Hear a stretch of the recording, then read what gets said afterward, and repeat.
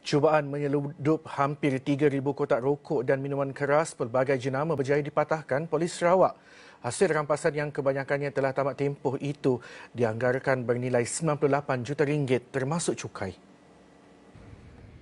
Menurut Pesuruhjaya Polis Sarawak, Datuk Manca Atta, 8 lelaki tempatan ditangkap dalam tiga serbuan sekitar Kuching melalui Optaring Alpha baru-baru ini.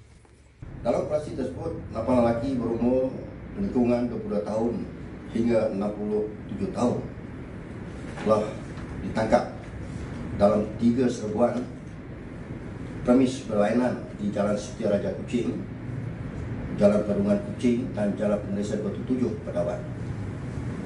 Melibatkan rampasan keseluruhan sebanyak 2,858 kotak rokok dan minuman keras pelbagai jenama yang kebanyakannya telah tamat tempoh. Dengan nilai rampas keseluruhan, barangan dianggarkan berjumlah 90 eh, juta 98,7 juta. Termasuk cukai. Beliau berkata demikian semasa sidang media op kontraban di Ibu Pejabat Polis Kontijen Sarawak di Kuching pada Rabu. Tambahnya kertas siasatan dibuka di bawah Seksyen 135 kurungan 1 kurungan D Akta Kastam 1967 yang memperuntukkan hukuman penjara maksimum 6 bulan hingga 5 tahun dan boleh didenda sebanyak RM100,000.